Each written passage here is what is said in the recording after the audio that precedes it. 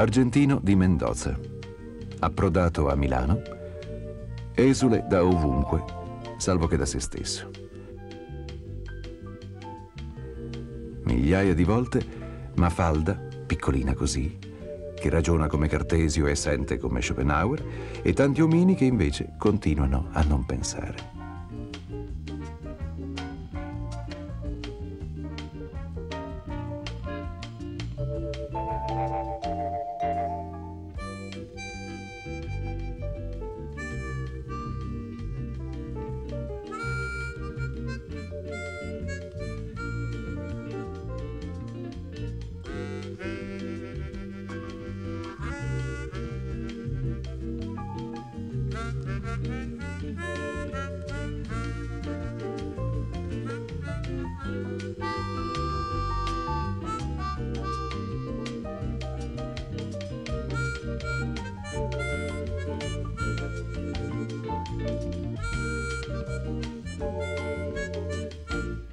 Cominciamo dall'inizio. Eh, quando, quando, hai cominciato a disegnare, immagino in Argentina, no? eh, che cos'è che ti ha spinto a, a, disegnare? Mi ha spinto a disegnare il fatto di avere un tio, uno, uno zio, beh. tio Scusate, sì, ogni tanto mi scappa una parola in spagnolo sì, Uno zio disegnatore pubblicitario, eh, io avevo tre anni quando l'ho visto disegnare per la prima volta e sono rimasto colpitissimo di questo fatto di, di avere una matita in mano e vedere cosa veniva fuori così. Lui ti ha fatto disegnare anche? Sì, perché poi è venuto da noi a abitare a casa allora... Dove da voi? Dove, dove eravate? Abitavamo in una provincia in Argentina che è vicina al confine col Cile, che si chiama Mendoza.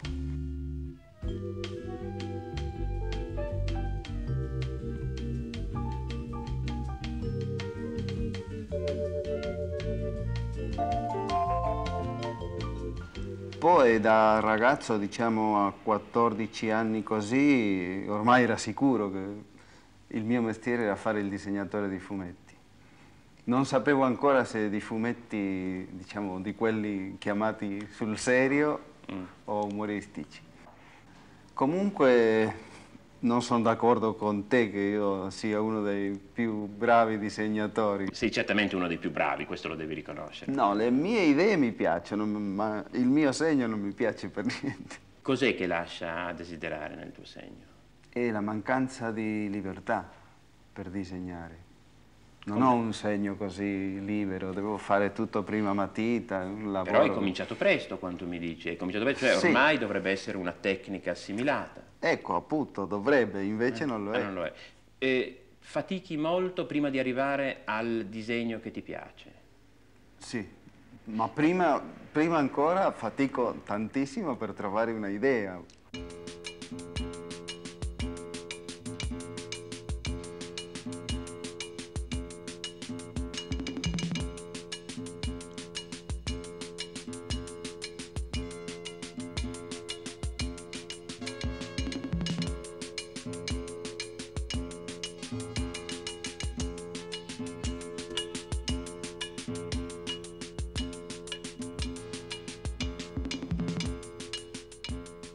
Mafalda quando è nata esattamente?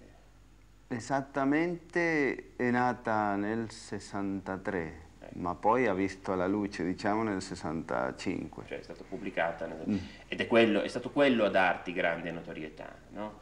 Sì, purtroppo sembra che la gente ha bisogno di un personaggio così, diciamo, fisso per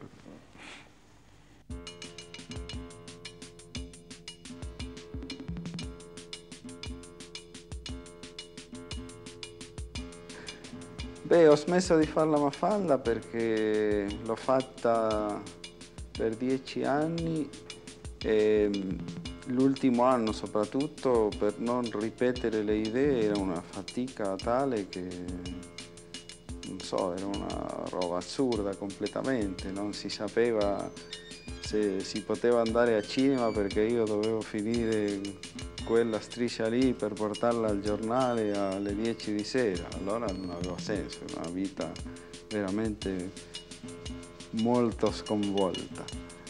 E i risultati neanche valeva la pena di continuare così. E poi continuare a dire che l'umanità non va, che il mondo è sempre con queste guerre, questi guai, ormai lo sanno tutti e non so, non ha senso.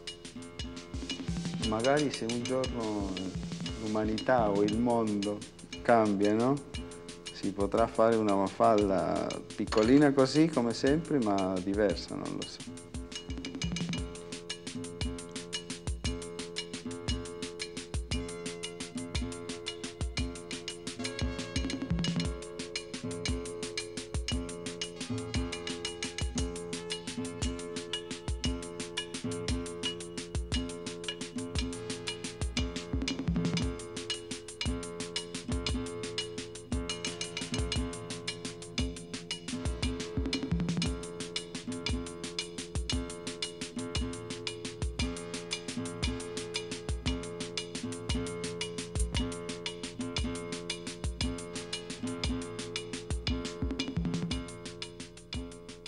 Certi tuoi disegni sono di immediata compressione, chiunque li capisce dandogli un'occhiata, altri invece ci si deve pensare sopra perché non subito se ne ha la chiave, bisogna studiarli nei particolari. Eh, quali preferisci tu? Io preferisco quelli che vanno pensati, Sì. ma anche questo è vero che un po' perché trovare quelle idee che fanno subito ridere è molto più difficile, però. Quando mi viene un'idea che, non so, penso questo magari va disegnato, pubblicato e nessuno lo capisce, allora vado da mia moglie e gli chiedo, senti, questo si capisce? Beh, mia moglie fa il giudice, dice sì, questo si capisce, o non si capisce, non so ma ormai dopo 19 anni di sposati mia moglie capisce tutto, come io insomma. E allora come teste non, non mi serve più sotto questo aspetto. E niente, non ho trovato un altro che faccia questo mestiere. Per esempio questa vignetta che vedo qui, prova a descrivermela tu eh, con, eh, con parole tue. Beh, niente, quello che mi piace di questa vignetta è questo signorino qui, questo omino, che pur appoggiando un candidato politico si trova di fronte ai suoi compagni, diciamo, di corteo, portano la fotografia del candidato ma sorridente, intanto in quella che porta lui il candidato non sorride affatto. E questo, non so, mi, sembra, a me mi sembra molto divertente perché, vabbè, che non soltanto è divertente, può essere anche angoscioso. Quello che mi arrabbia è che la ricorrenza dei temi, no? la vecchiaia, l'omino solitario, non riesco a uscire di queste idee qua. E sei in buona compagnia, credo che i pittori hanno i chiodi fissi, come mm. ce l'hanno gli scrittori, dipende dal modo di trattare un argomento. Cosa ne pensi dei tuoi colleghi cartoonist? E fra gli argentini abbiamo avuti tutti noi della mia generazione un grandissimo maestro che si chiamava Oschi. Quello era molto bravo, lo ritengo il più bravo, quello sì, fra gli argentini. È morto solo da poco, mi pare, no? Sì, da... sì. E eravate tutti molto legati a lui? Sì, tantissimo, sì, sì. E Oschi era veramente un personaggio stranissimo. L'ho conosciuto 25 anni fa così, io stavo lì nella mia provincia di Mendoza e Oschi in quel momento lì abitava nel Cile, ma viaggiava continuamente su una motocicletta fra Buenos Aires e Santiago, che è un viaggio di 1300 km, devi attraversare le Andi, non è mica una cosa facile. Allora, siccome c'era stata una nevicata abbastanza grossa, il passo era chiuso, Oschi è rimasto a Mendoza e l'ho conosciuto lì. E da allora è nata questa amicizia che è durata appunto 25 anni.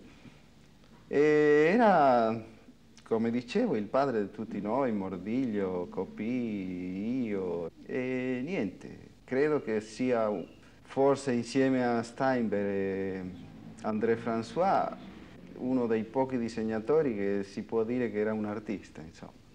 Adesso cosa ti piacerebbe poter fare come attività, in fondo? Sempre nell'ambito del disegnare? Eh sì, perché visto che non so fare altro, però mi piacerebbe appunto imparare a disegnare bene, Beh, ma... imparare a fare, non so, delle cose a colori, che è uno dei miei problemi anche sono bloccato con i colori. Ma ogni tanto vedo che ci sono per esempio copertine del mago o altre volte in cui eh, appaiono tue cose a colori. Sì, ma non sono colorate da me. Cioè io ho fatto sì qualcosa a colori così, però mh, mm, faccio tantissima fatica perché mh, mm, mi manca avere in testa eh, il quadro finale, cosa devo fare. Cioè, io faccio il disegno bianco e nero, eh, metto il verde diciamo, e poi rimango per delle ore e adesso cosa faccio? Chino è, è un, bisogna conoscerlo per poi eh, capire, interpretare e apprezzare anche meglio i suoi disegni. È un uomo mm, correttissimo, vestito, vestito con un'eleganza misurata, mangia pochissimo, eh, fa una vita, sembra molto triste e in questa sua gentilezza è estremamente triste. È però, un, a giudicare, sembra addirittura triste ma mite, è uno dei più feroci. Non tanto in Mafalda, che è un personaggio che bisogna vedere nel tempo in cui fu creato. Chi non disegna Mafalda da oltre dieci anni ha chiuso il personaggio della bambina, perché quella è, era la voce dell'Argentina.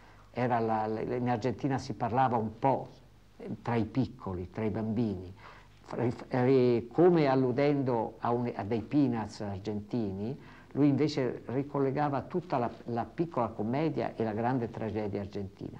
Macchino è in queste scene di vita borghese, spesso senza battuta, in cui l'unica battuta che si legge è chino, che sono di una, dispera, di una disperazione unica.